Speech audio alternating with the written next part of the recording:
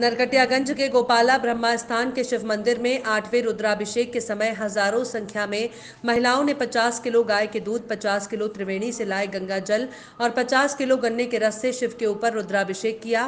गोपाला ब्रह्मा स्थान सेवा समिति के अध्यक्ष वर्मा प्रसाद ने बताया कि ये शिव मंदिर पचासों वर्ष प्राचीन है, जो जीर्ण शीर्ण हो चुका था, लेकिन विगत आठ वर्ष पहले इसका जीर्णोद्धार किया गया। इसके बाद उसी समय से लगातार पुरोहित नंदलाल दुबे के नेतृत्व में रुद्राभिषेक का आयोजन होता आ रहा है।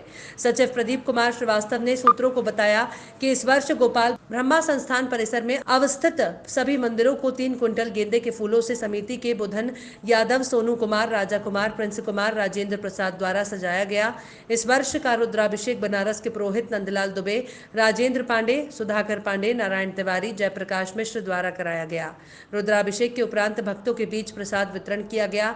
इस आयोजन को सफल बनाने में अवध किशोर सिन्हा, चंदन कुमार, सन्नी जयप्रकाश गुप्ता कुमार, अभिषेक कुमार आदि की सहभागिता रही।